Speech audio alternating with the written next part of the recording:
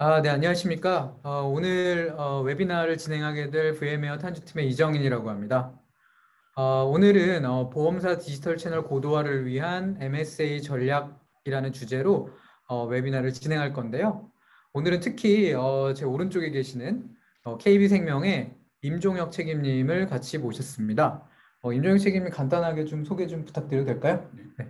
네, 안녕하세요. 반갑습니다. KB생명보험에서 지금 테크닉 피지컬 아키텍처를 맡고 있는 임정영 책임이라고 합니다. 저희 디지털 채널 고도화와 관련해서 저희가 이제 MSA를 기반으로 저희 application을 이제 올렸는데요. 그 관련된 경험에 대해서 어, 오늘 세션을 통해서 공유를 할 수 있도록 하겠습니다. 네, 오늘 어쨌든 바쁘신 시간에 이렇게 와주셔서 감사드리고요. 어, 오늘 어, 이제 진행하는 데 있어가지고 질문이나 이런 부분들이 있으실 수 있는데 이런 부분들은 이제 Q&A 창에 어, 여기 아래 보시면 이제 Q&A 위나 아래쪽에 이제 아마 바가 떠 있을 겁니다. 그래서 어, Q&A 창을 클릭하셔가지고 어, 거기에다가 입력해 주시면은 저희 쪽에서 이 세션 마지막 정도에 좀 대응을 어, 답변을 좀 드리도록 하겠습니다.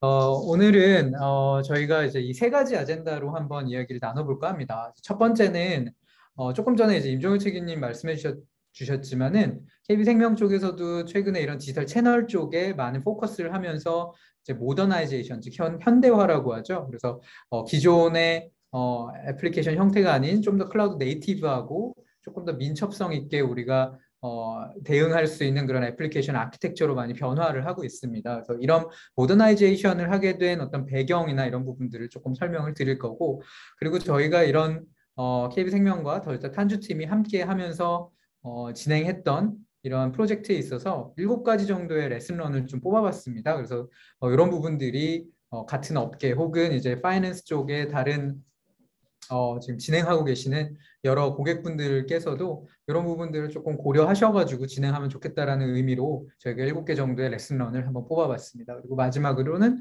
넥스텝을 한번 좀 어, 저희가 짚어드린 다음에 진행을 어, 마, 마무리하도록 하겠습니다. 어, 먼저 저희가 이 보험업계가 지금 현재 처해져 있는 상황을 한번 좀 살펴보고 넘어가도록 하겠습니다. 어, 지금 현재 보험업에서는 외부적으로는 보험업 외부적으로는 우리 회사의 외부적으로는 빅테크 기업들이 지금 현재 활발하게 좀 보험업 진출을 하고 있고 특히 이런 빅테크 업체 같은 경우에는 IT를 기반으로 기존 이제 전통적으로 이제 강한 그런 면모를 보여왔기 때문에 user 경험, user experience를 갖다가 상당히 잘 높일 수 있는 상대적으로 유리한 위치에 있는 것도 사실입니다. 그래서 그런 상황에서 어, 저희 보험 회사 최근에 보험사 입장에서는 이런 디지털 채널 중심으로 어떤 어, 경험 관점, user 경험 관점에서 경쟁이 심화되고 있는 것도 사실입니다. 두 번째로는 뭐 마이데이터라든지 이제 어, 그런 어, 국가에서 지금 추진하고 있는 여러 가지 사업들에 있어가지고는 또 한편으로는 새로운 기회 요인이 지금 포착되는 것도 또 외부 요인 중에 하나라고 볼 수 있겠습니다. 그래서 어떻게 보면 리스크와 어떤 opportunity가 현재 함께 있는 그런 상황이고 또 내부적으로는 지금 어, 사실은 우리가 디지털 채널 쪽에 많이 포커스하고 있긴 하지만은 기존에는 이런 어떤 어, digitalize 되어 있는 user experience를 제공하기 위해 적합한 환경은 아니었습니다. 어, 위험도가 높은 그런 배포 주기 그리고 어, 느린 release cycle, 뭐 정기 배포를 꼭 잡아가지고 해야 된다거나 하는 이런 형태의 지금의 어떤 needs하고는 맞지 않는 부분들이 많이 어, 현재 내부적으로는 가지고 있는 것도 사실이라고 볼 수 있습니다. 또한 저희가 이제 주로 이제 SI 사업들을 많이 하다 보니까 어, 지금 어떤 요건들이나 이런 부분들을 거의 수개월 전에 먼저 요건을 정해 놓고 그 부분을 이제 차곡차곡 실행하는 거에 많이 익숙해져 있다 보니까 언제든지 우리가 구, 시장의 니즈에 따라서 바뀌고 어, 그런 바뀌는 변화들을 적용시킬 수 있는 그런 유연한 어떤 사업 체계를 가지지 못하는 부분들이 또 한계가 있는 것도 사실입니다.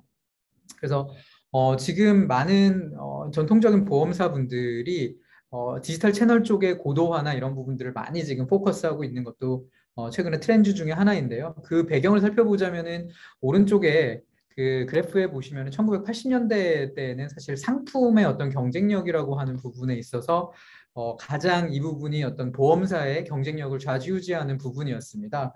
그래서 상품의 경쟁력, 즉 어떤 경쟁력 있는 상품을 가져가느냐가 보험사의 경쟁력을 좌지우지했다면은 2000년대 이후에는 어, 이런 것보다는 좀 우리 보험 상품을 처음에 접하고 접한 거를 온라인으로 어, 가입을 하고 가입한 것들 보상을 신청하고 그리고 이런 것들 지급하고 하는 이런 전체 일련의 과정에 있어 가지고 디지털이 안 끼어드는 곳이 없을 겁니다. 그래서 이러한 digital experience를 어떻게 되게 smooth하고 어떻게 하면 또 좀 더 경쟁 좀 편하게 이거를 제공할 수 있느냐가 어, user experience가 상당히 중요해지는 그런 상황이 되었습니다. 그래서 어, 결론적으로는 우리가 가장 고객하고 맞닿아 있는 채널 시스템이라고 우리가 불리는 홈페이지라든지 모바일 애플리케이션이라든지 어, 이런 부분들에 있어가지고 어, 개선의 효과를 볼 수 있는 부분들이 되게 많이 존재하고 이 부분은 상대적으로 코어 시스템인 legacy나 아니면 계정계에 해당하는 어, 기간계에 해당하는 이런 코어 시스템 대비 개선의 효과를 비교적 신속하게 볼 수 있다라는 점에서 조금 더 매력적으로 이제 다가오게 되고 먼저 접근하게 되는 영역이 디지털 채널 쪽의 고도화라고 볼 수 있겠습니다. 이런 어떤 context와 트렌드에 있어서 어, KB생명은 어, 선도적으로 작년부터 해서 어, 온라인 보험 시스템, 보험, 온라인 보험을 이제 가입하고 실제로 어, 가입 가입에서부터 실제로 어, 그거를 어, 서비스를 받고 하는 이런 여러 라이프 사이클에 있어서 홈페이지라든지 모바일 채널이라든지 이런 고객하고 접점에 있는 많은 채널들을 고도화하는 작업들 그리고 user experience를 높이는 작업들을 추진을 해왔습니다. 그런 부분에 있어서 제 오른쪽에 계시는 이제 임조영 책임님께서 많은 부분들을 key role을 맡아주셨고요. 지금부터 이런 context에 있어서 어떻게 KB생명보험이 어, 지난 수개월 그리고 1년여 가까이 어떤 노력을 해오셨는지를 간단하게 정리한 것들을 한번 쉐어해 드릴 수 있도록 하겠습니다. 네, 저희 KB생명에서 이제 MSA 기반의 어플리케이션 시스템을 올리면서의 이제 대략적인 여정에 대해서 간단히 말씀드리겠습니다. 일단은 뭐 일단 조금 약간 microservice architecture 기반의 시스템을 저희가 올리다 보니까 그런 시스템을 이제 운영하는 입장에서는 예, 인프라나 이제 플랫폼 관점에서 굉장히 이제 민첩성이라든지 그런 이제 그런 큰 플랫폼을 운영하는 데 있어서 굉장히 좀 운영 안정성에 대해서 좀 키포인트로 가져가야 되는 부분이 있었고요.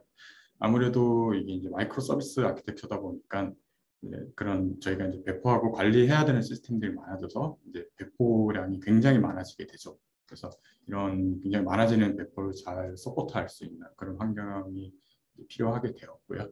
그런 것들을 이제 잘 support하기 위해서는 그런 저희가 또 이번에 플랫폼이 뭐 업그레이드라든지 패치라든지 여러 가지 이제 보안적 이제 운영 관점에서 좀 오토메이션이 잘 되어 있어야 된다고 생각을 했고요.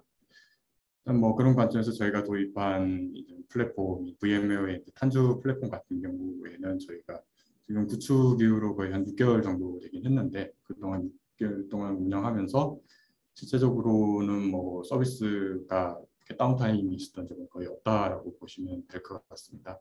그리고 물론 뭐 프로젝트 팀에서 시스템 자체를 구축해 주시는 것도 굉장히 고맙긴 하지만 아무래도 이게 아무래도 시스템이 이제 커지다 보니까 단순히 이제 유지 보수라든지 그런 technical support만으로도 해결할 수 없는 부분이 꽤 많이 있고요. 그런 부분에 대해서는 저희가 이제 자체 인력들이 그런 부분 이제 쉽게 빠르, 빠르게 대응할 수 있는 부분에 대해서는 대응할 수 있도록 그런 이제 탄주에서 제공해준 도조 프로그램을 통해서 저희가 이제 기술 내재화를 했다고 보시면 될 것 같고요. 일단 어플리케이션 구축하는 부분에서는 저희가 기존에 이제 유지해오던 홈페이지, 이제 온라인 보험, 그러니까 스마트 창구, 모바일 홈페이지 이런 것들이 MSA로 바꿈과 동시에 저희가 이제 기능 고도화도 이제 같이 진행을 했고요.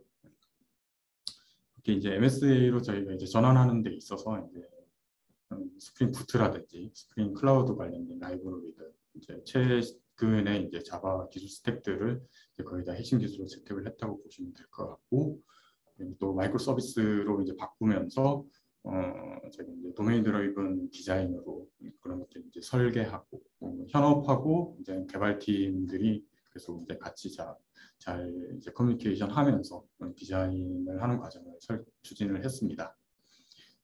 그리고 일단은 그것들을 앞에 말씀드렸던 이제 플랫폼이라든지 microservice architecture 어플리케이션들을 이제 잘 운영을 하고 그런 것들을 잘 support하기 위해서 결국에는 이제 DevOps 또는 이제 DevSecOps가 잘 체계가 잘 만들어져 있어야 되는데요. 이들이 뭐 아무래도 저희는 기존에는 그런 체계가 있긴 했지만 굉장히 이제 작은 부분에서만 움직이고 있었고 어, 이번 프로젝트를 계기로 이제 저희 IT 조직 전반에 체계들을 이제 확산하고 이제 제대로 좀 만들어보는 환경을 잡았고요. 기존에는 굉장히 이제 많은 툴들을 사용을 해가지고 시스템을 힘겹게 힘겹게 운영을 하고 있었는데 이번에 이제 단순히 굉장히 이제 툴들을 압축하고 간소화시켜서 진행을 했고 아무래도 또 금융업이다 보니까 여러 가지 이제 보안 장치들이 좀 많이 필요한 부분이 있습니다. 그런 것들 이제 추가하고 보완하는 작업들을 진행을 했습니다. 네, 그럼 정리해 보자면은 지금 크게 한 세 가지 정도를 말씀하신 것 같은데 일단은 목표 자체는 우리가 user experience를 높이는 거지 않습니까? 그렇죠. 네, user experience 높이기 위해서 실제 채널 쪽을 고도화하고 그걸 개발하는 작업이 이제 두 번째 지금 디지털 채널 구축이 될 거고 그런 것들을 잘 서포트하기 위한 환경들이 필요할 텐데 그 runtime을 구축하기 위한 어, 플랫폼을 컨테이너 기반의 플랫폼을 같이 도입하고 준비하신 부분들 그리고 세 번째로는 어, 여기에다가 애플리케이션을 지속적으로 배포하고 그리고 어, 안정적으로 이런 배포를 이루어질 수 있도록 하는 여러 가지 프로세스적인 개선을 포함한 어, 어떻게 보면 Dev, DevSecOps라고 불리우는 그 세 가지 포인트로 주로 이렇게 강조해가지고 진행을 하셨다고 볼 수가 있겠, 있겠네요. 네. 네. 어, 다음 장은 이제 현재 아키텍처에 대해서 그래서 간단하게 좀 설명을 해주실 예정입니다. 한번 좀 더 들어보도록 하겠습니다. 어, 저희 지금 간단하게 설명을 드리면 일단은 주로 이제 예전 이제 3 tier 구조로 약간 이제 비교를 하자면 주로 이제 웹 서버 역할을 하는 이제 채널, PC 채널, 모바일 채널 쪽이 있고요. 그 다음에 이제 WAS 쪽 영역을 담당하던 이제 BFF 서비스라고 되어 있긴 한데 기존에는 이제 server side에서 이제 뭐 렌더링을 한다든지 여러 가지 이제 서버 쪽 인터페이스를 담당하는 이제 WAS 영역을 하던 이제 backend 부분이 있고요. 그 뒤쪽으로 보시면 이제 나머지 이제 저희가 이제 분할한 microservice로 분할한 비즈니스 서비스, 코프락시드, 뭐 그리고 세션 담당하는 부분들이 쭉 있습니다. 그래서 이제 전체적으로 좀 설명을 드리면 저희가 아무래도 어, 서비스들은 이제 잘게 쪼개서 올라가기 때문에 아무래도 이제 컨테이너 기반의 그런 플랫폼에 이제 어플리케이션들을 배포하는 게 확실히 이제 유리하다고 판단이 되어서 전체적으로 이제 컨테이너 기반 플랫폼에 서비스들이 올라가게 되어 있고요. 그리고 이제 두 번째 영역을 보시면 이제 BFF 영역이라고 BFF 패턴이라고 이야기를 하는데 대체적으로 저희가 microservice로 이제 아키텍처를 구성하기 위해서는 좀 크게 이제 게이트웨이 패턴하고 그리고 이제 BFF 패턴이 있는데 저희는 기존 어플리케이션을 어, 기존에 이제 상용 WAS에서 동작하던 어플리케이션을 Spring Boot로 전환을 해서 둔 상태 Spring Boot로 전환해서 두고 거기서 이제 각각의 서비스들을 하나씩 이제 disintegration 해나가는 방식으로 프로젝트를 했기 때문에 기존 이제 WAS 영역은 이제 살려놓고 어, 그렇게 진행하는 방식, BFF 패턴을 이제 채택을 하고 그렇게 진행을 했다고 보시면 될 것 같습니다. 그러면 BFF, BFF 패턴이라고 하는 걸 중간에 둠으로써 이제 어, UI 쪽, 그 채널 쪽에서는 BFF를 호출하게 되고 BFF 쪽에서는 좀 뒷단에 있는 비즈니스 서비스를 호출해가지고 UI 쪽에서 원하는 데이터를 조합하는 그런 역할을 해서 이제 내려보내는 그런 역할을 했다고 볼수 그렇죠. 있겠네요. 주로 이제 기존에 이제 화면의 presentation layer를 담당하는 것들만 네, 네, 네. BFF 영역에 두고 네. 진행을 한 거죠. 잘 알겠습니다. 그리고 세 번째 같은 경우는 이제 솔직히 이제 비즈니스 영역들은 전부 다 저희가 이제 서비스 microservice로 분할을 하는 부분이기 때문에 BFF 쪽에 있는 WAS하고 이제 서비스를 연결하는 이제 게이트웨이를 중간에 두게 되고요. 그리고 나머지 여러 가지 이제 Spring Boot라든지 뭐 그런 기술들을 이용을 해서 이제 전부 다 이제 microservice화 했다고 보시면 될 것 같고요. 그리고 네 번째로 있는 부분이 이제 core proxy service인데 이 부분은 저희가 이제 anti-corruption layer라고 해서 어, 기존 core system, 즉 이제 기간계하고 인터페이스를 하는 영역이라고 보시면 됩니다. 이게 어, 뒤에서도 다시 설명을 드리긴 하겠지만 아무래도 이제 기간계를 호출하는 business logic이 이제 비즈니스 서비스에 이렇게 전부 다 위치하게 되면 나중에 좀 변화 아무래도, 관리? 예, 프로그램 복잡도라든지 변화 관리에 굉장히 어려운 부분이 있어서 별도로 이제 anti-corruption layer를 두고 이제 여러 개의 core proxy service를 구성을 하게 하는 형태로 구성을 했고요. 일단 아무래도 저희가 이제 웹 서비스이기 때문에 이제 브라우저하고의 이제 상태 유지가 굉장히 중요한 부분이 있어요. 그래서 이제 session cache를 담당하는 저희가 이제 GemFire라는 IMDG를 사용을 해서 구성을 했고 그리고 message queuing service를 쓰기 위해서 이제 RabbitMQ를 썼고 이제 개발자들이 저희가 REST API로 개발을 하기 편하게 슬리브 UI를 제공하는 슬리브 부분이 있고 그리고 아무래도 저희가 대고객 서비스이기 때문에 여러 가지 컨텐츠를 이제 검색하고 이렇게 좀 표출할 수 있는 검색 엔진 영역이 있고요. 그리고 약간 요 이제 shared service라는 영역이 있는데 약간 anti-corruption layer하고 비슷할 수는 있긴 하지만 이 부분은 이제 어 아무래도 이제 storage service 뭐 예를 들면 이제 첨부 파일이라든지 그런 것들을 제공하는 이제 서비스 그리고 뭐 이메일 전송, 뭐 팩스 전송 또는 logging하는 서비스들은 어 이게 이제 business layer도 마찬가지일 수 있고 core proxy service에서도 이 영역들은 다 공통적으로 사용할 수 있는 부분입니다. 그래서 shared service라는 이름으로 추가적으로 좀 구축을 했다고 보시면 될 것 같습니다. 그러면 이런 shared 서비스 같은 경우에는 위쪽에 비즈니스 서비스가 예를 들어 뭐 첨부 파일을 처리하는 것이 있다 그러면은 모두 이 shared 서비스를 통해 가지고 처리를 위임하고 이쪽에서 그러면은 그 해당되는 그 storage 서비스를 수행하는 그런 형태로 그럼 구축이 된 네, 거라고 read write 부분이라든지 아니면 뭐 이메일 전송을 한다든지 이런 것들은 전부 다 shared 서비스에 있는 부분을 활용을 해서 네. 쓴다고 보시면 될 것 같습니다. 다음으로는 이제 이런 과정을 통해서 그냥 간단하게 이런 modernization의 지금 성과, 지금까지 이제 조금 어, 보고 계시는 약간 긍정적인 부분들이 어떤 것이 있는지 간단하게 좀 말씀해 주시면 감사하겠습니다. 일단은 이 어플리케이션을 현대화함에 따라서 저희가 이제 가질 수 있던 성과들이 이제 크게 세 가지가 있는데 이제 가장 큰 것은 저희 기존의 IT 조직들이 이제 일하는 방식에 대한 변화가 가장 큰 부분이고요. 그리고 운영 모델의 개선된 부분이 있긴 한데 이 부분은 아직도 계속 지속적으로 저희가 이제 발전을 시키고 있다고 보시면 될 것 같고 아무래도 저희가 이제 어, 그런 플랫폼, 클라우드 플랫폼을 도입을 했기 때문에 그런 소스를 관리하고 배포하는 것들에 대해서 밀접성이라든지 가용성이 굉장히 좀 좋아졌다 그렇게 볼 수 있는 부분이 있고요. 어, 조금씩 음, 조금 자세하게 설명을 드리면 일하는 방식에 있어서 저희가 기존에는 굉장히 좀 보수적인 방식의 향상 관리 시스템을 사용을 했었고요.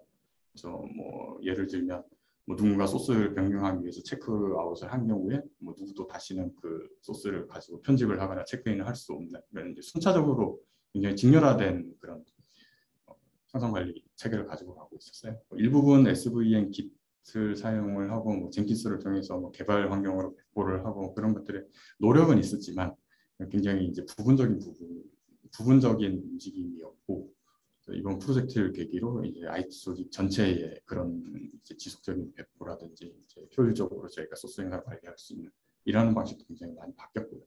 그런 것들에 대해서 큰 성과를 거뒀다고 볼 수 있습니다.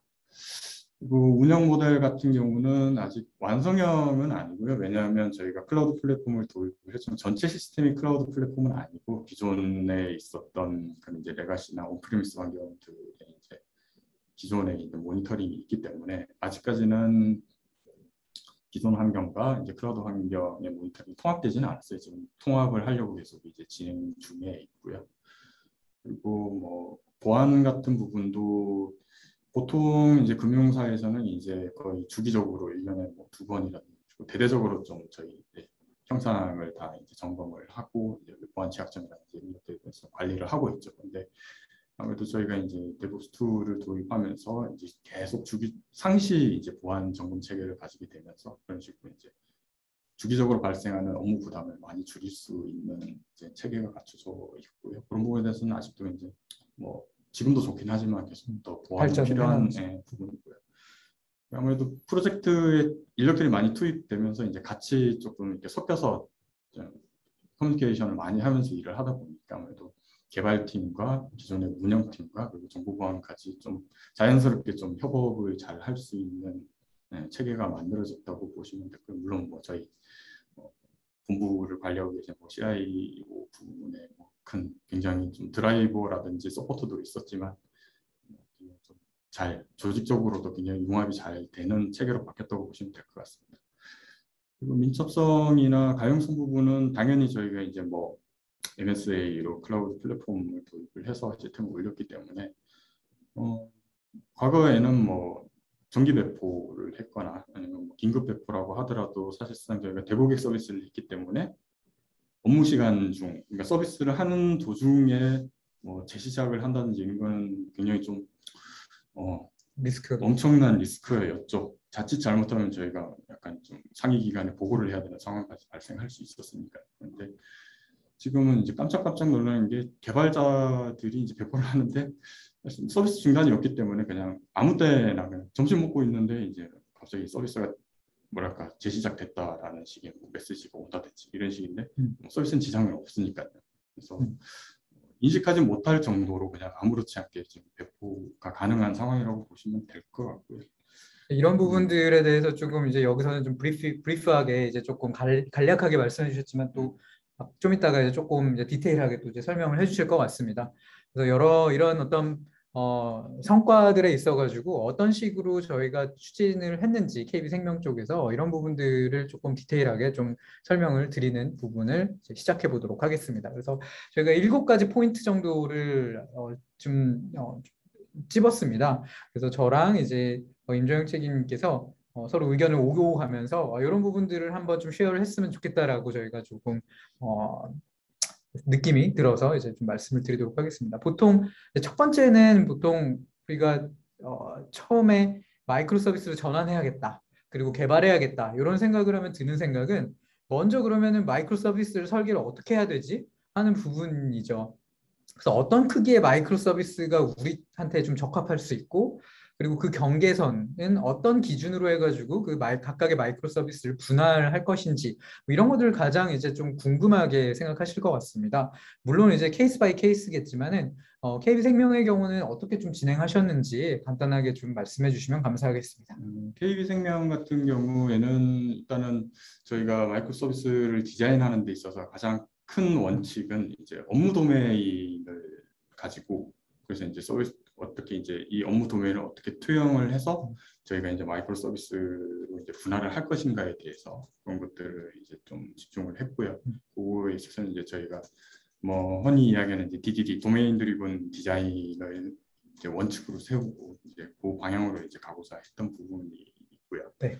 그런 것들이 이제 가능했던 거는 아무래도 저희 이제 조직 프로젝트를 같이 했던 조직이 그 디지털 채널 자체를 이제 유지보수하던 팀이 직접 이제 프로젝트도 같이 진행을 했고 아무래도 저희 이제 조직 구조상 이제 현업이 함께 있는 구조다 보니까 그런 것들이 이제 커뮤니케이션이라든지 여기서 그런 것들 이제 결정할 수 있는 것들을 굉장히 빨리 진행을 할 수 있어서 이렇게 진행할 수 있었던 것 같아요. 그리고 어, 저희가 이제 분리하는 데 있어서는 물론 이제 뭐 도메인 영역도 있긴 하지만 사실은 이제 업무와 기능 관점에서 좀 더좀 집중을 해서 분리를 한 부분이 있고요. 아무래도 저희가 이 기존에 운영하던 시스템이 그 이제 화면의 메뉴들이 이미 좀 업무를 기준으로 좀 많이 나눠져 있다 보니까 기본적인 틀은 그 메뉴를 기준으로 이제 나눠 놓고 거기서 이제 조금씩 기술팀하고 업무팀하고 계속 협업을 네, 협업을 하면서 수준을 계속 맞춰 나갔다고 보시면 될 것 같고요. 음, 그러면 정리를 하자면은 일단은 DDD라고 하는 현업 쪽하고 그리고 실제 현업에서 쓰이는 그런 도메인과 업무 기준으로 하는 걸 일단 원칙으로 하되 그리고 UI나 아니면 메뉴를 있는 이미 되어 있는 부분들을 많이 활용하셨고 그리고 그런 부분에 있어 가지고 의견 조율이나 이런 것들은 상당히 활발히 해내가면서 조금씩 바꾸셨다 이렇게 이해를 하게 되면 좋을 것 같습니다. 두 번째로는 이런 경계를 좀 설정해 나가는 부분에 있어서 그러니까 어떤 A라는 마이크로 서비스하고 B라는 마이크로 서비스를 나누는 거에 있어서 기준점이라고 해야 될까요? 뭐 이런 게 혹시 있으셨는지 궁금해요. 근데 사실 경계를 나누는 것은 중요하긴. 왜냐하면 서비스를 딱 나눠야 되니까 이제 정확히 이제 선을 긋는 건 중요한데 그게 사실 이제 정답은 없다고 생각을 해요. 왜냐하면 저희가 어 뭐 서비스를 나누는 것도 중요하긴 하지만 뭐 이제 각각의 서비스 나눠진 서비스들이 누가 오너십을 가져갈 거고 그런 것들을 이제 배포를 할 때에 서로 간에 이제 어떤 영향도가 서비스 간의 영향도도 고려를 해야 되는 부분이 있고 그런 서비스를 나누게 되면 그 서비스들의 이제 스케일링을 어떻게 할 건지 많이 쓰는 기능이 있지만 작게 쓰는 기능도 있을 거란 말이죠. 근데 많이 쓰는 기능과 작게 쓰는 기능이 합쳐져서 같은 서비스 있게 되면 그만큼의 또 비효율도 발생할 수 있으니까 그런 것들에 대한 이제 고민도 필요한 거고 또 그 서비스와 관련된 이제 엔티티들 데이터들은 또 어떻게 또 나누고 어떻게 관리를 할 건지에 대한 또 고민이 많아지는 거고 아무래도 이제 너무 적게 나누는 것도 문제지만 또 욕심을 너무 많이 내서 서비스는 무조건 나눠야 돼라고 해서 쫙 나눠 놓으면 이게 결국에는 이제 운영 관리를 하는 데 있어서 이제 코스트가 당연히 이제 증가할 수밖에 없는 상황이 되는 거죠. 그래서 적정 수준에서 이제 적당히 타협하고 이제 좀 관리하기 좋은 수준으로 이제 나누는 것도 또 중요하게 되는 거죠.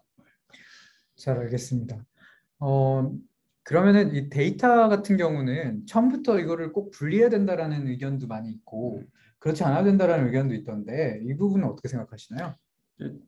뭐 그렇게 이야기하시는 분들도 있어요. 그 entity 모델이라든지 데이터 이제 정확히 얘기하면 이제 데이터베이스인 거죠. 데이터베이스도 서비스별로 다 나눠서 하, 구축을 하는 것이 진정한 MSA다라고 이야기들 하시긴 하는데 어, 물론 그 조직이라든지 그런 operation maintenance 할 수 있는 조직에서 그런 식으로 이제 각각의 서비스와 DB를 다 관리하실 수 있으면 그렇게 하시는 것도 좋다고 생각을 하는데 그렇게 이제 관리할 수 있는 조직이 과연 얼마나 될지 좀 의문스럽긴 해요. 그런 것들을 뭐 DB로 다 나눠서 관리하고 관리하는 만큼 엔티티 설계에 대해서 다 모두가 다 알고 있어야 되고 어떻게 나갈 건지 기준도 다 설정을 하셔야 되고 계속 또 안 바뀌지는 않을 거잖아요. 계속 업데이트 해야 되고 하니까 관리할 수 있으면 하시면 되는데 음, KB생명 같은 경우에는 솔직히 말씀드리면 이제 욕심은 나긴 하지만 굳이 그렇게까지 해야 될까라는 좀 관점은 있었어요. 그래서 뭐 일부분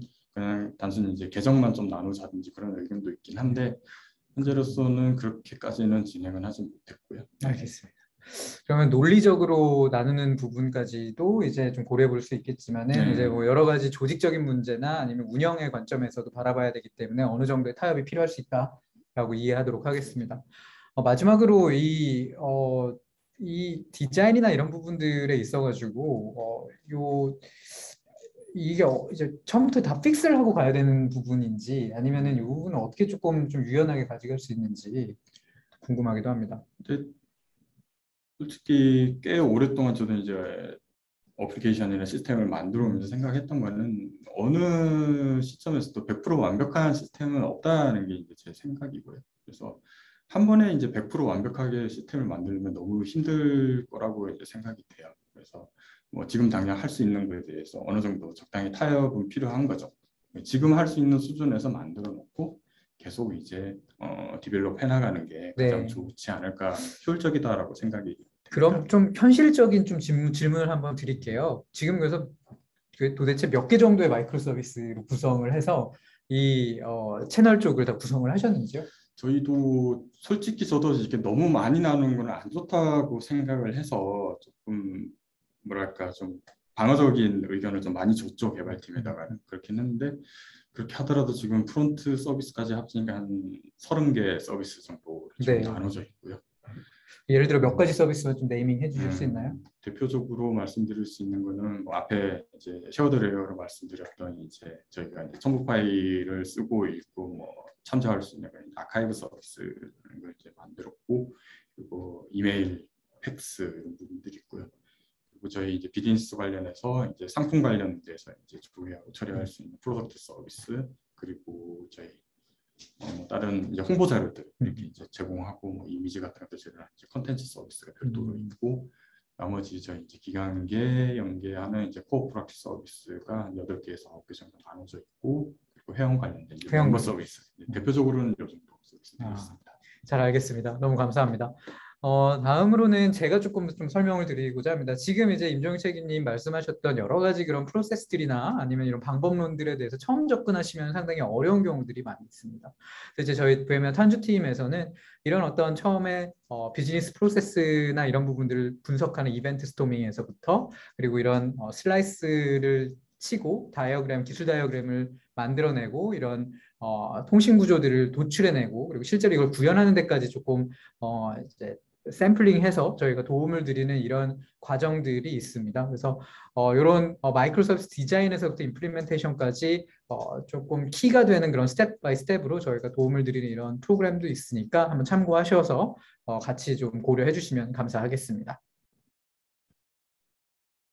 두 번째 꼭지는 저희가 이, 이런 어, view를 좀 가져갔으면 좋겠습니다. 이제 microservice를 구현할 때 우리가 어떤 language를 먼저 사용할 것인지 그리고 framework는 뭘 사용할 것인지 이런 것부터 좀 약간 현실적으로 고민이 되게 될 것 같아요. 그래서 어, 사실 임, 임책임님이 아까 강조하신 Spring을 좀 많이 사용하셨다고 하셨는데 스프링 같은 경우에는 VMware 쪽에서 초기부터 상당히 많은 부분들을 contribution 해오고 있는 그런 open source 중에 하나입니다. 특히 뭐 Java 기반의 microservice application은 대부분 거의 뭐 7, 80% 정도가 Spring Boot 기반으로 이루어져 있다고 해도 지금 과언이 아닐 것 같은데요. 그렇다면 왜 스프링 기반의 이런 ecosystem을 KB생명에서 사용하시기로 결정을 하셨는지가 궁금합니다. 좀 그 부분 좀 말씀해 주시면 감사하겠습니다. 뭐 우선 이제 기존의 환경이 일단 그 Spring framework 기반으로 올라가 있던 부분도 있긴 하지만 저는 개인적인 생각일 수도 있겠지만 어, 현재 이제 웹 application을 구축하는 데 있어서 이제 가장 안정적으로 시스템을 구축할 수 있는 프로그램 language는 이제 Java라고 생각을 하고 있고요. 그 이제 안정적이라는 내용에는 굉장히 많은 의미가 있는 게 기술의 완성도라든지 여러 reference라든지 그런 구축할 수 있는 능력을 수급하는 부분에 있어서 안정적이다 표현을 하는 부분이고요. 그래서 이제 뭐 Java를 가지고 웹 application을 만드는 데 있어서는 뭐 거의 Spring framework가 거의 현재로서는 독보적이다라고 볼 수 있겠죠. 저도 이제 최근 한 10년 정도 안에서는 뭐 예외 없이 거의 다 Spring framework를 쓰는 걸로 확인을 해왔습니다. 그리고 또 아까 말씀하신 게 Spring Boot 쪽으로 이제 전환을 하셨을 때 Spring이 또 microservice에 대한 여러 가지 라이브러리나 이런 부분들을 제공하는 것도 강조를 하셨던 것 같아요. 그럼 실제적으로 Spring framework 어, 4.0을 사용하셨다고 들었는데 그걸 어떻게 좀 전환을 하신 건가요? 어, 저희가 프로젝트를 진행하면서 전환을 하는 거는 스프링 2.0으로 네, 스프링 2.0으로 갔죠. 2.0으로 우리가 Spring framework로 따지면 5.0 정도 되고요. 우선적으로 기존 application을 이제 bootify라고 얘기를 하죠. 이제 Spring Boot로 이제 바꾸는 건데 어, 기존 이제 Tomcat이라든지 상용 WAS의 도움 없이 application만으로 이제 저희가 웹 서비스가 가능하게 전환을 했고요. 그 상황에서 저희가 이제 하나씩 서비스를 이제 분리해 나가서 약간 disintegration 하는 방식으로 저희가 MSA 시스템을 구축했다고 보시면 될 것 같고 기존에는 저희가 이제, 이제 build나 컴파일하는 과정도 전부 다 ID 툴이 아니면 Ant 기반으로 저희가 build해서 음. 했었죠. 근데 또 Gradle로 전환해서 아무래도 서비스다 보니까 이제 jar나 war로 packaging상 패키지 되어서 이제 배포하는 게 굉장히 좀 유리하다 보니까 Gradle build해서 배포할 수 있게 저희가 그렇게 다 전환을 하고 보시면 됩니다.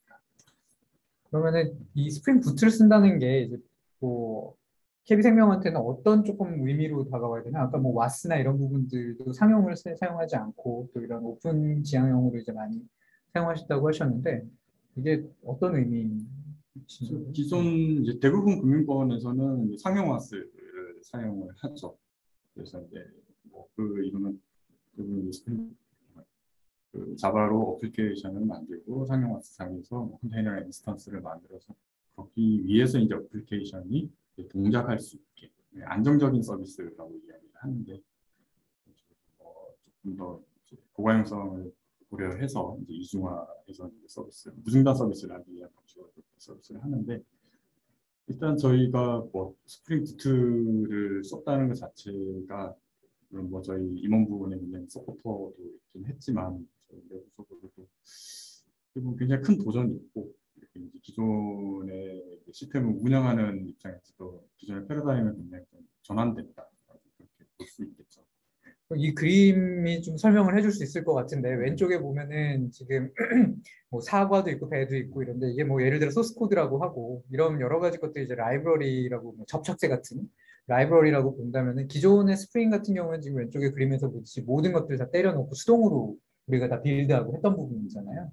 오른쪽 같은 경우에는 지금 어, 책임님 말씀하신 대로 이런 configuration이라든지 라이브러리나 이런 부분들은 좀 자동으로 이 기계 안에서 Spring Boot라고 하는 어떤 엔진 안에서 이런 것들 조합해주고 개발자들은 정말 source code들만 이제 주입시켜주면 되는 그런 형태로 이제 좀 진행이 된 거고 이런 어떤 그 조미료들에 가까운 것들이 어떻게 보면 Tomcat이나 이런 애플리케이션 컨테이너들이 자동으로 이제 주입이 되면서 그냥 source code만 들어가게 되면은 하나의 runtime 앱이 packaging이 되면서 WAS를 끌고 들어가게 되는 오히려 반대의 현상이 일어나는 그런 패러다임의 전환이 있었다고 저희는 좀 보여지긴 하네요. 기존에는 이제 WAS라는 환경에서 그냥 static한 네. 상태에서 네. WAS가 이제 서비스를 기동시켜주는 역할을 음. 했었는데 지금 같은 경우는 이제 어플리케이션 자체가 스스로 이제 서비스를 할 수 있는 그런 상태로 되어 있고 그런 것들이 이제 Spring Boot가 굉장히 많은 것들을 제공을 해준다고 보시면. 그래서 언제든지 application이 스스로 뜰수 네. 있고 또 이제 스케일 될 수 있고 bootstrapping이 되면서 이제 조금 자생할 수 있는 약간 네. 그런 형태가 되는 거네요. 그래서 이제 왼쪽 네. 같은 경우는 기존의 이제 큰 시스템들이나 이제 모놀리식 아키텍처에서는 이제 이런 것들이 필요했죠. 이제 어, 지금 이제 계속 바뀌어 나가는 것들이 이제 조금 조금만 서비스들을 이제 그때그때 조금씩 띄워가지고 가볍게 띄워서 언제든지 이제 재배포해도 서비스에 문제가 없게 그런 아키텍처로 계속 발전이 되고 있다고 생각을 하고 있습니다. 네, 감사합니다. 어, 이제 두 번째는 이제 Spring Boot 얘기를 계속 했는데, 세 번째는 이제 mesh 쪽입니다. 이제 보통 많이 토픽들을 궁금해지는 부분이 이제 mesh 쪽인데, 아무래도 microservice는 서비스들이 많아지게 되고, 개수가 많아지게 되고, 서비스 간의 통신들이 많아지게 됩니다. latency도 생기게 되고, 그 통신을 어떻게 안전하고, 시큐어하고, 그리고 되게 쉽고 간편하게 이제 이런 것들을 수행할 수 있는지가 되게 중요해지겠죠. 서비스 메쉬는 그대로 서비스 간의 통신을 어떻게 제어할 것이냐라는 것 같습니다. 그래서 이 제어라는 말은 이 서비스가 다른 서비스를 어떻게 찾아갈 것이냐에서부터 시작해서 유량 유량 제어는 어떻게 할 것인지, 뭐 인증이나 필터링이나 아니면 모니터링은 어떻게 할 것인지 이런 것들이 다 포함되어 있다고 보여지게 되는데요. 이런 서비스 메쉬를 구성하는 부분에 있어서 어, 생명에서는 어떻게 KB 생명에서는 어떻게 하셨는지 궁금합니다. 이 서비스 mesh와 관련돼서도 이제 사실 굉장히 많은 이제 패턴들이 있게 되는데요. 저희 같은 경우는 굉장히 좀 약간 정석적인 방법이라고 해야 될까요? 이제 그런 것들 채택을 했다고 보시면 될 것 같고 프로젝트 초창기에는 어떻게 보면 정석이라고 말씀드린 게 이제 저희 Spring Cloud Gateway와 전 Spring Cloud Netflix 그러니까 Eureka Ribbon, 뭐 circuit breaker 등을 써, 사용을 해가지고 이제 구성을 하는 패턴으로 갔었는데 계속 이제 프로젝트를 진행을 하면서 이제 뭐 여러 가지 이슈도 있긴 했지만 아무래도 뭐 open source 소프트웨어를 사용을 해서 구축을 하는 것도 좋긴 했지만 아무래도 저희 이제 도입한 플랫폼에서 또 자동적으로 이제 그런 internal DNS 그러니까 Eureka를 대체할 수 있는 기능을 제공을 하는 게 있어서 괜히 이제 관리 포인트를 늘릴 필요는 없다고 생각을 했습니다. 그래서 Eureka 음. 대신에 internal DNS를 사용을 하게 되고 그렇다면 정리하자면은 제가 지금 그리고 있는 요 A라는 서비스와 그리고 요 뒤쪽에 있는 B라는 서비스가 서로 간에 이제 통신을 할 때는 항상 이 Spring Cloud Gateway라고 하는 가운데 있는 애를 통하도록 이제 기본적으로 원칙은 그렇게 가져가셨다고 제가 이해를 했고 그리고 어떤 경우에 있어가지고 둘 사이의 통신이나 이런 것들이 필요할 때에는 이제 Eureka나 이런 부분들을 고려하시긴 했지만 그런 부분보다는 이제 지금 어, Tanzu 플랫폼에서 제공하는 internal DNS를 통해서 어, A가 B를 찾아갈 수 있는 그런 형태로 어, 구현하셨다고 이해를 했습니다. 그 이유는 이제 그런 메인 maintenance 포인트나 메인 management 포인트를 조금 줄이고자 해서 이제 그런 부분들을 최소화하면서 이제 진행하셨다고 이해를 하도록 하겠습니다. 그러니까 서비스 특성에 따라서 이제 latency를 최소화하는 경우에는 이제 서비스끼리 이제 direct로 통신을 이제 해야 되는 것들을 구축할 필요성이 있긴 한데 네. 솔직히 이제 보험업에서는 꼭 이제 그런 것까지는 음. 이제 아주 필요하지는 않고 저희는 이제 좀 중, 중점적으로 뒀던 게 이제 gateway를 통해서 그런 이제 통신들의 흐름들을 제어하고 음. 다 제어하고 이제 모니터링 할 수 있는 음. 거에 좀 오히려 약간 관리적인 부분에 있어가지고 weight를 두시고 네. 이제 아키텍처를 구성하셨다고 볼 수 있겠네요. 네 그렇게 보시면 될 것 같습니다. 잘 알겠습니다. 어, 그래서 이런 지금 뭐 두 번째, 세 번째 여기에 Spring Boot, Spring Cloud Gateway, 뭐 Spring Cloud Data Flow 이런 여러 가지 Spring의 어떤 ecosystem을 이용해 가지고 지금 어떤 mesh도 구성하시고 각각의 microservice를 구성하셨는데 이런 부분에 있어 가지고 또 어, 스- 어, 왜냐면 Tanzu 팀에서는 어떤 어, support나 기술 support라든지 이런 부분들 back단에서 진행을 하고 있습니다. 그래서 지금 Spring Boot, Cloud Gateway 같은 것들을 원 제조사의 입장에서 vendor 기술 지원을 같이 제공하고 있는 부분들이 있고 단지 이런 Boot라든지 Spring Cloud Gateway, Spring Cloud가 뿐만 아니라 우리가 많이 사용하는 뭐 Spring Cloud Stream이라든지 Spring Cloud RabbitMQ라든지 뭐 JPA라든지 GemFire라든지 Kafka 와 같은 이런 수십 개, 한 40여 개 되는 이런 어, 스프링 프로젝트들에 대해서 같이 어, 지원을 좀 드리고 있는 부분입니다. 또한 OpenJDK 와 그리고 Apache Tomcat Boot가 가지고 있는 embed 되어 있는 이 WAS에 대해서도 같이 기술 지원을 제공을 하고 있습니다. 어, 네 번째 꼭지로 바로 넘어가 보도록 하겠습니다. 우리가 애플리케이션 코딩할 때 가장 또 신경 써야 되는 부분 중에 하나가 세션 관리라고 좀 생각이 듭니다. 근데 최근에 보면은 이 앱 instance들, 즉 뭐 WAS라고 우리가 흔히 불리우는 애들이 막 늘어났다가 줄어들었다가 막 계속 이런 식으로 이제 발, 변화가 되다 보니까 세션 clustering이라든지 이런 부분에 있어가지고도 상당히 고려해야 될 부분이 많을 것 같아요. 어, 또 이제 기존에는 이제 우리가 3 tier라고 했던 되게 정형화된 구조가 되게 딱 박혀 있었지만 지금 microservice가 되게 많아지게 되는데 이런 것들에 대해서 공통으로 서비스 간에 공통으로 바라봐야 되는 세션 데이터 같은 것들이 생기면 보통 어떻게 처리를 하시는지 궁금합니다.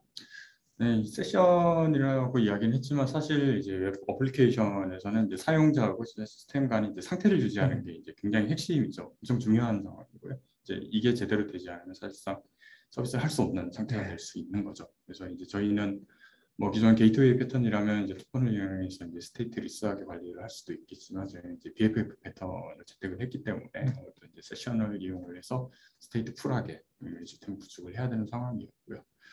그리고 단순히 뭐 BFF 웹 WAS의 통신이라면 그냥 말 그대로 그냥 세션만 쓰면 되겠죠. 근데 뒤쪽에 있는 microservice에서까지도 전부 다 이제 세션에 있는 데이터를 참조를 해야 되는 상황이기 때문에 어, 단순히 이제 WAS만으로는 이제 처리하기 힘든 상황이 있고 그래서 이제 어쩔 수 없이 이제 세션 cache, cache를 쓸 수 있는 이제 in-memory data grid를 써야 되는 상황이었어요. 그래서 이제 여러 가지 조금 이제 고민을 했고요. 아무래도 데이터 그리드 같은 거는 이제 가장 유명한 게 Redis, 그다음 이제 뭐 Hazelcast라든지 여러 가지 되게 많이 있긴 한데 기본적으로 저희가 이제 채택을 한 거는 결과적으로 이제 젠파이어를 선택을 하게 됐죠.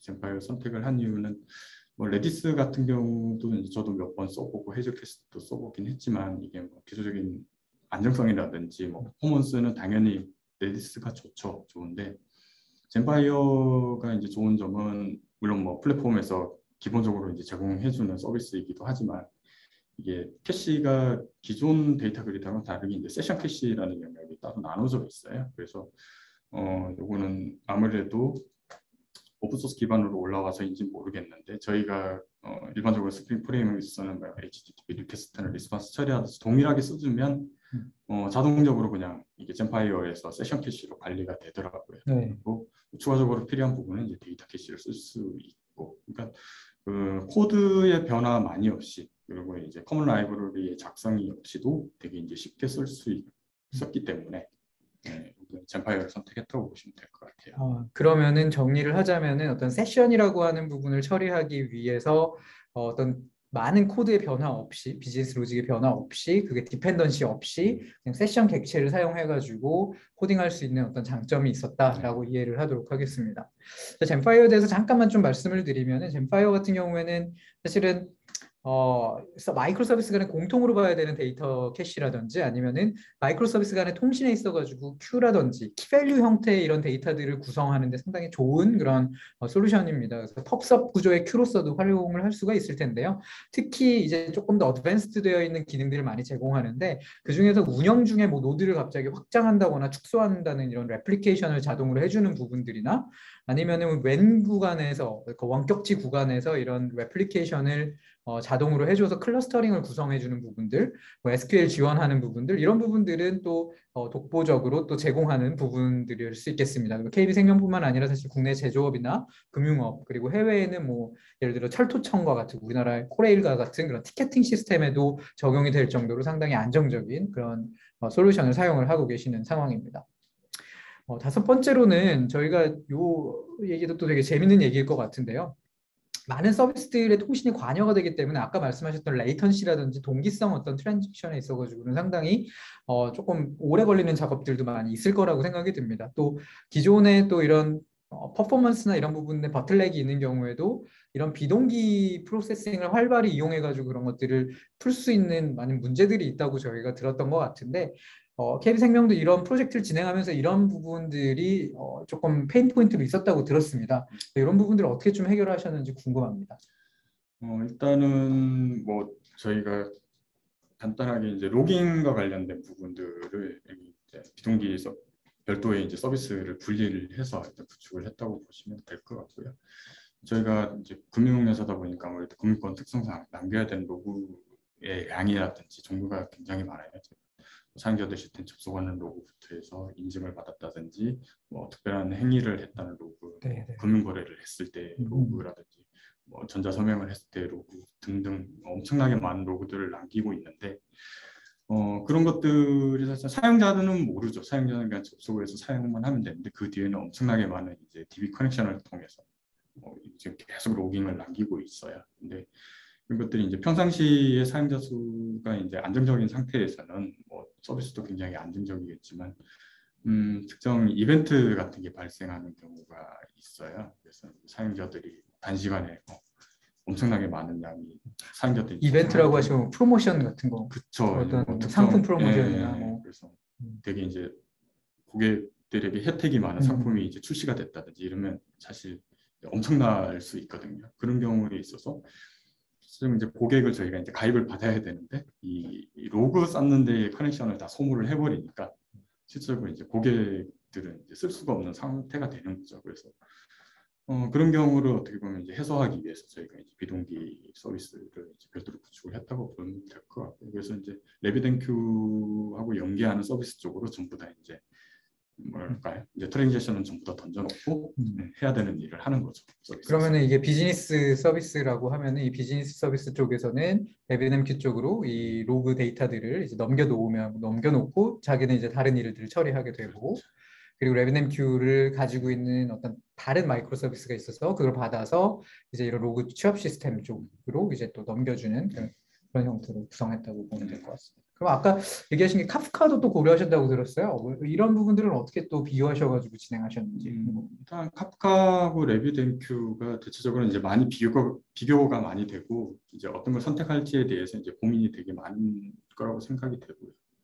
근데 결론적으로 저희도 이제 뭐 굉장히 고민을 많이 했어요. 많이 했는데 음, 카프카가 아니고 결국 이제 레비덴큐를 선택을 한 이유는 카프카 같은 경우에는 이제 그 용량이 저희 같은 사이즈의 규모에서는 그러니까 그래서 퍼포먼스는 비슷한 것 같더라고요. 근데 이제 카프카 같은 경우는 이제 되게 이제 대규모의 이제 큐잉이 발생하는 경우에 이제 enterprise 그 네, 음. 그런 쪽에서 이제 많이 쓰는데 구성하는 데 있어서 조금 까다로운 부분이 있었던 걸로 제가 기억을 하고 있고 RabbitMQ 같은 경우에는 그 뭐 접근성 때문에 그러신 거네. 기술적인 네, 접근성 그런 때문에. 것들도 있고 약간 뭐 이렇게 쭉 기술들을 찾아보면 뭐 소- 소비자 중심인지 사용자 중심인지 뭐 좀 그런 이야, 이야기들이 되게 많아요. 근데 저는 저희 아무래도 좀 저희 플랫폼에서 또 이제 managed 서비스를 제공하는 부분도 있고 해서 좀 또 안정적인 면을 채택을 했다고 음. 보시면 될것 그러니까 같아요. 역시 여기서도 이제 maintenance 포인트들을 조금 많이 줄여나가시고 manage 음. 서비스를 사용하시는 부분으로 접근하셨다고 이해를 하도록 음. 하겠습니다. 왜냐하면은 Tanzu 플랫폼에 이제 RabbitMQ도 같이 제공하는 부분이 있으니 이제 그 부분을 활용하셨다고. 어 이제 마 어 여섯 번째로는 이제 사실은 우리가 이 microservice를 구성하면서 빼놓을 수 없는 부분이 우리가 지금 채널 쪽만 포커스하고 있지만 사실 이걸 많이 뒤쪽에서 처리하고 있는 기간계 쪽입니다. 기간계 쪽하고 많이 연동하는 부분들이 많이 있을 것 같은데 어, 이 기간계 쪽은 사실은 지금은 전문 형태로 아마 소켓 기반의 TCP layer에서 이제 받아줄 것 같고 서로 통신할 것 같긴 한데 어, 이런 상황에서는 우리가 이제 앞에 비즈니스 microservice 우리가 만들어낸 microservice하고 이쪽 core 기간계 쪽하고는 어떻게 통신하는 게 좋은지 어떤 구조로 통신하게 하는 게 좋은지 이런 고민들 많이 하셨을 것 같아요. 이 부분은 어떠신지요?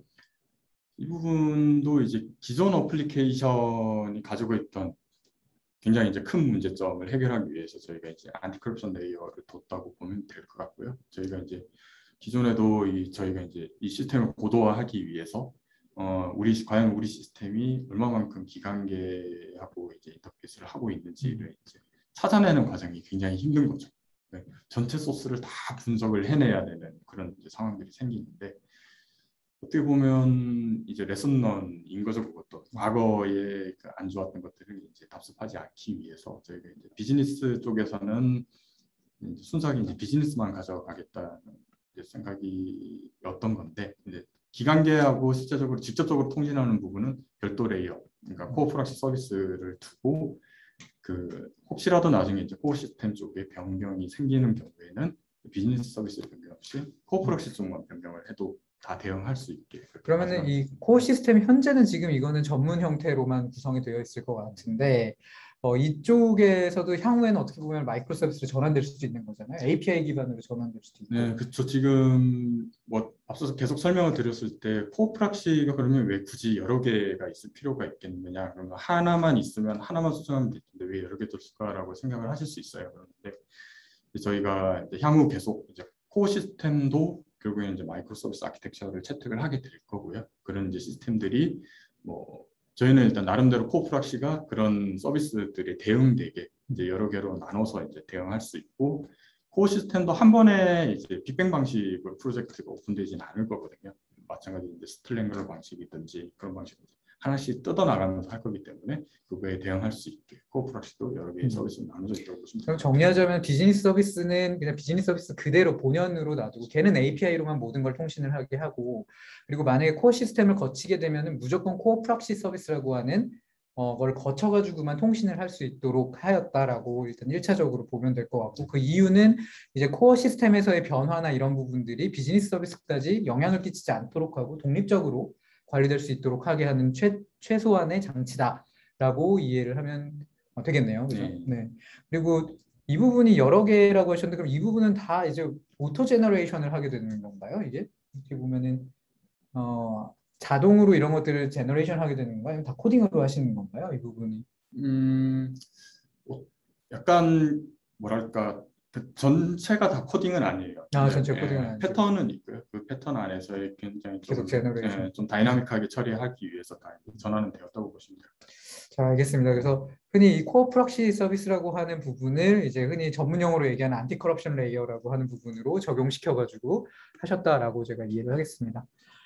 어, 특히 이제 저희가 아까 Swagger를 사용하셨다고 하셨는데 이제 VMware의 Tanzu 쪽에서는 API 포털이라고 하는 거를 제공을 하고 있습니다. 그래서 API 그룹들마다 이런 식으로 이제 관리를 Swagger처럼 이제 관리를 하게 해주고 이, 이 그룹 안에 들어가게 돼서 특정 이제 API들을 어떤 API들을 제공하는지 리스트들을 보여주게 하고 얘를 뭐 예를 들어 try try를 해볼 수 있다거나 테스트 해볼 수 있다거나 아니면 여기에서 documentation을 통해서 관리할 수 있도록 활용할 수 있도록 이런 API 포털을 같이 제공을 하고 있는 부분도 있습니다. 그래서 이런 부분을 통해서 API들을 관리할 수 있을 것 같고요. 그리고 일곱 번째 마지막입니다. 이제 특히 이제 가장 중요하다고 아까 이제 강조하셨던 부분인데 어, DevSecOps라고 해서 소스에서부터 소스가 이제 코딩이 완료된 거에서부터 실제 이걸 운영 환경까지 배포할 때까지 거쳐야 되는 다양한 스텝들이 있는데 이런 부분들을 어떻게 조금 어, 고도화시키고 그리고 효율화시키고 그리고 이런 부분들을 효율화시킴과 동시에 또 compliance적으로는 또 meet할 수 있도록 하느냐가 금융권에서는 상당히 중요한 화두가 될 수 있을 것 같습니다. KB생명에서는 이런 부분들을 어떻게 조금 어, 스피드는 희생하지 않으면서 안정적인 배포를 진행할 수 있도록 하셨는지 궁금합니다. 이제 앞에 말씀드렸던 이제 플- 플랫폼이라든지 어플리케이션 관점에서 그런 것들 이제 구축한 이야기를 다 말씀을 드렸는데 사실 그런 것들이 이제 지금 말씀드린 이제 DevOps 환경이 아니라면 굉장히 좀 힘들고 어렵게 이제 운영을 할 수밖에 없는 상황이 될 거고요.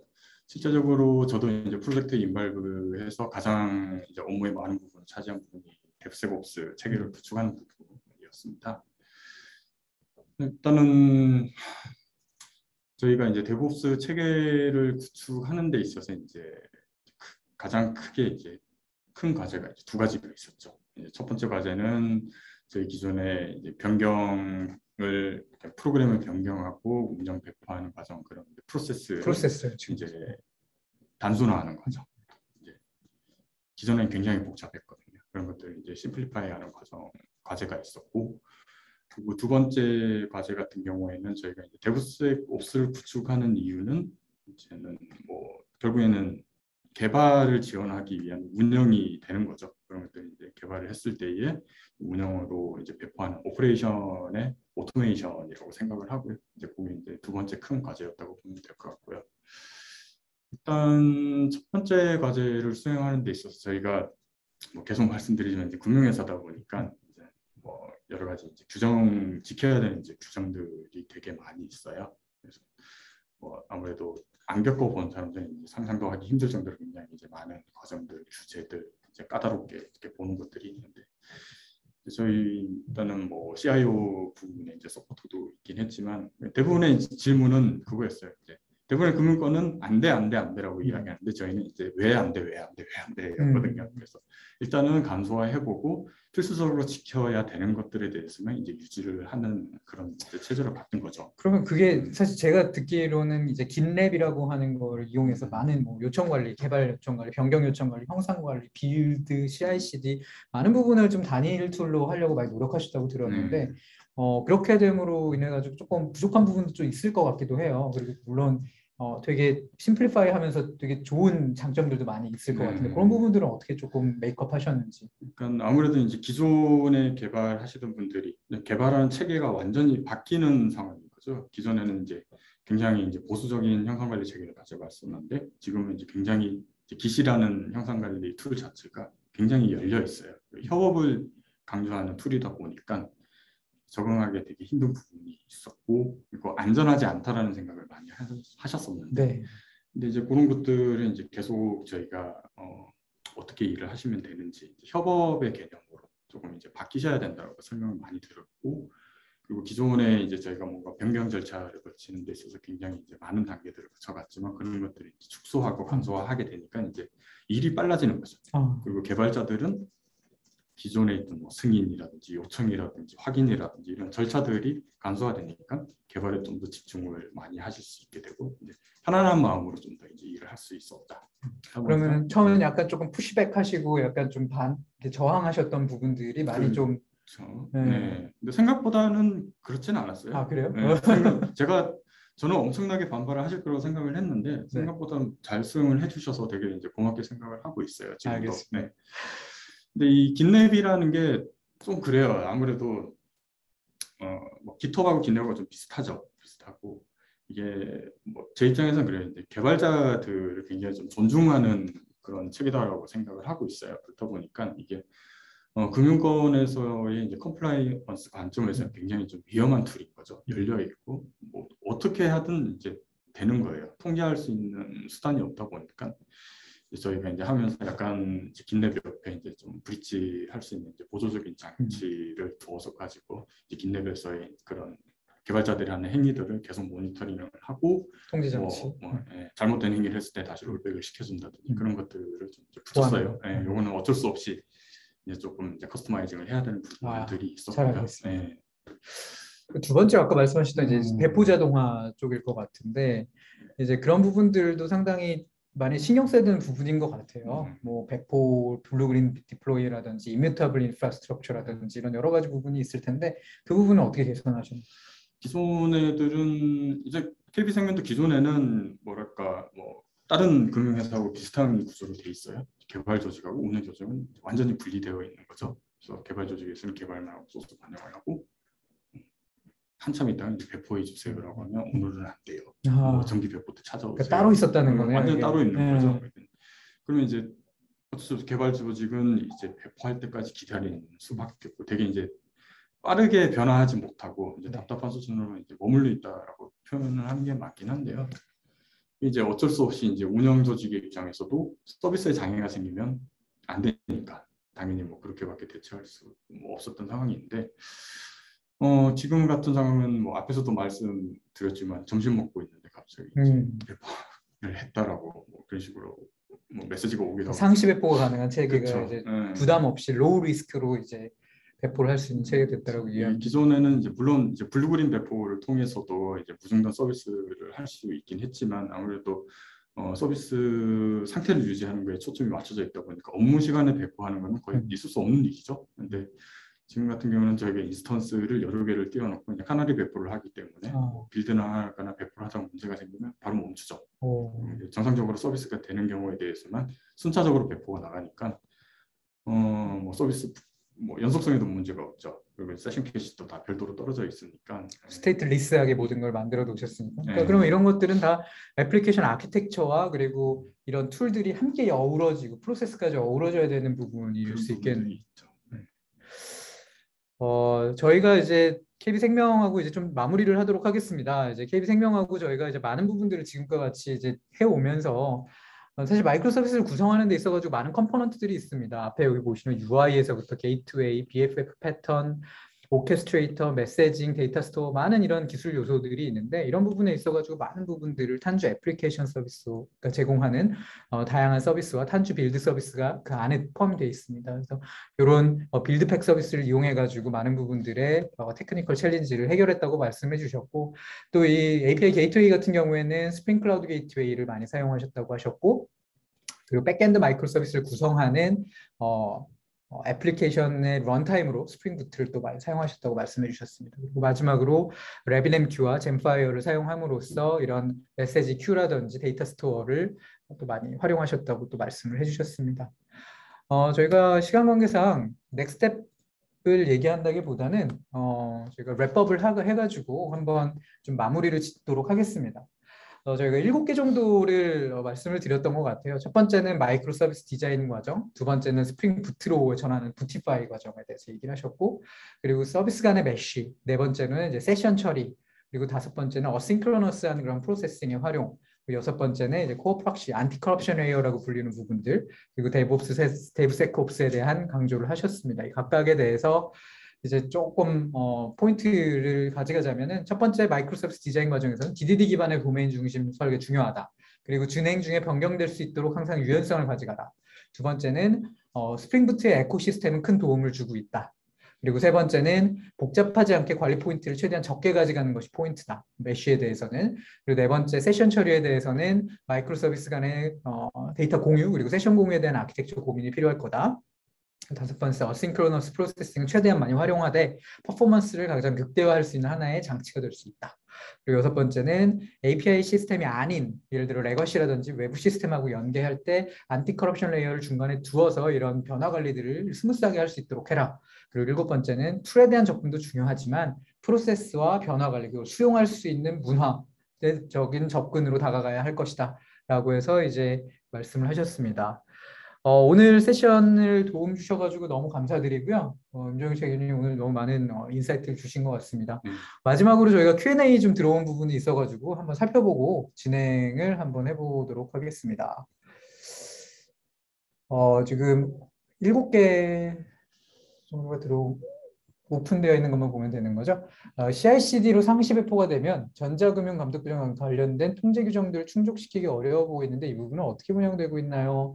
라고 물어보셨고요. 어, 이 부분은 아까 잠깐 말씀을 하셨던 것 같습니다. 네, 그쵸. 지금 그러니까 저희가 인지하고 있는 이제 감독 규정 같은 경우에는 어, 서비스를 이제 유지하는 데 있어서 그러니까 뭐랄까? 그러니까 서비스가 재시작되거나 뭐 어떻게 해도 상관은 없어요. 저희가 확인한 규정상으로는 그냥 서비스가 유지되기만 하면 특별히 문제는 없는 걸로 확인을 했었고요. 네.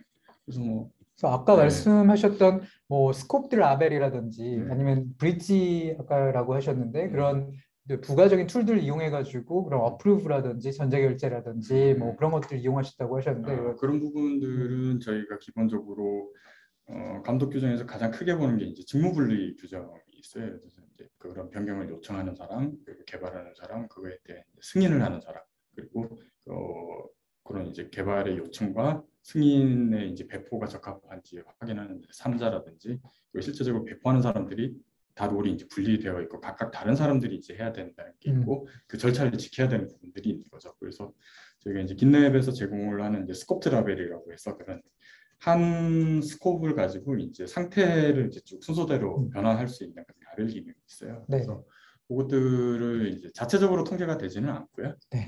그 순서에 맞춰서 잘 진행이 되고 있는지에 대해서 그런 이제 모니터링하고 음. rollback 시켜버리는 이제 별도의 이제 bridge를 둔 거죠. 알겠습니다. 통제할 수 있게 저희가 하고 있고요. 네. 잘 알겠습니다.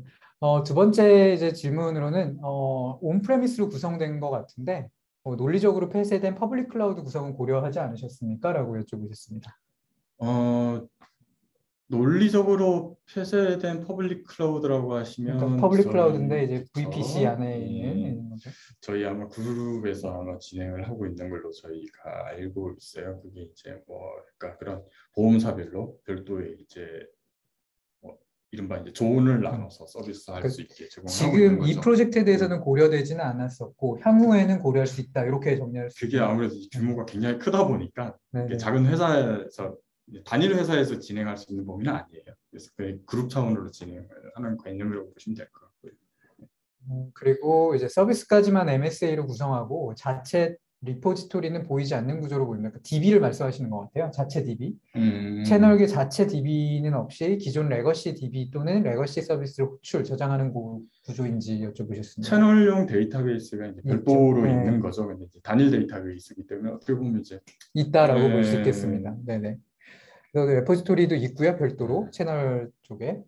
국내 금융권의 경우 폐쇄망 구성의 원칙으로 당장 open source library를 외부에서 업데이트 받는데 많은 어려움을 겪는 것으로 알고 음. 있습니다.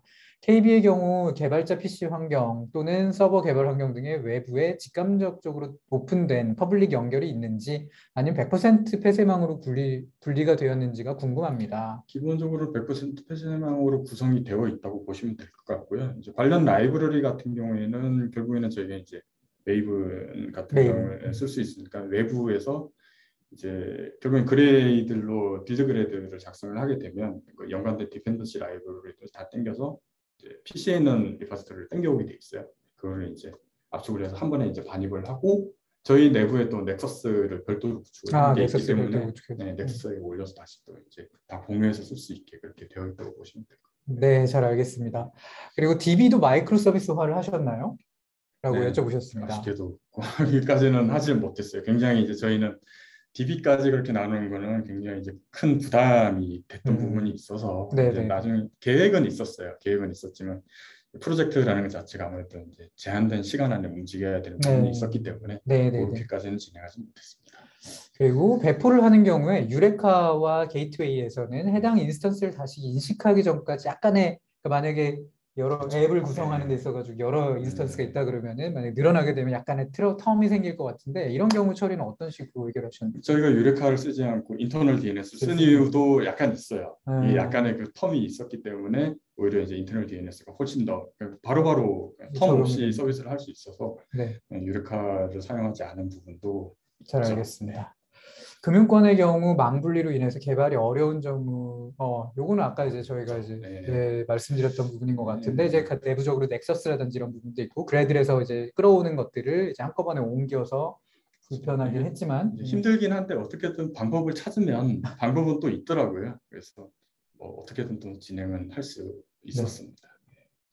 그리고 보험사 디지털 채널이기 때문에 MSA 보험의 특성 때문에 조금 더 구성에 신경 쓰신 부분이 있으실까요? 되게 좋은 질문인 것 같은데 음. 보험사기 때문에 아무래도 이제 보험사이기 때문에 다른 금융하고는 좀 다를 수는 있어요. 이게 아무래도 이제 뭐랄까 어, 완전히 실시간으로 저희가 업무를 처리하는 건 아니거든요. 네. 그래서 약간의 이제 뭐랄까 term이라고 해야 될까? 이제 고객은 신청을 하시고 그 다음에 또 한참 있다가 또 음. 대응을 해야 되는 부분들도 있고요. 그러니까 뭐 eventually consistent한 구조로 많이 하시기도 음. 하시고 또 step by step으로 뭐 이런 것도 좀 많이 나눠가지고. 프로세스화 시키는 음. 부분들 전체적인 업무 흐름이 이제 쭉 흘러가는 게 아니에요. 약간 뭐랄까 분절이 있으세요.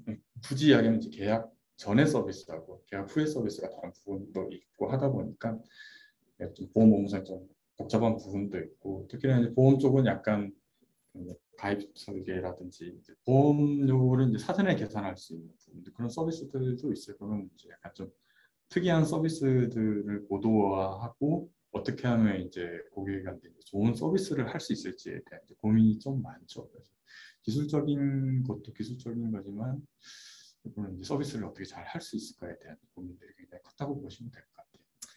네, 어, 오랜 시간 동안 어, 이렇게 어, 지금 Q&A는 다 끝난 것 같습니다. 오랜 시간 동안 이렇게 어, 들어주셔서 감사드리고요. 어, 저희가 지금 연락처를 넣지 않았던 것 같습니다. 그래서 연락처를 간단하게만 조금 어, 좀 설명을 드리고 마무리하도록 하겠습니다. 그 저희 쪽 저한테 아마 연락을 주시면 될 것 같고요. 추가적인 문의 사항이나 어, 어떤 퀴- 문의 사항이 있으시면은 여기 지금 화면에 보이시는 어, LJUNGIN 그리고 vmware.com으로 연락 주시면은 저희가 이제 필요한 부분들을 좀 대응해 드리고 어, support 해 드리도록 하겠습니다.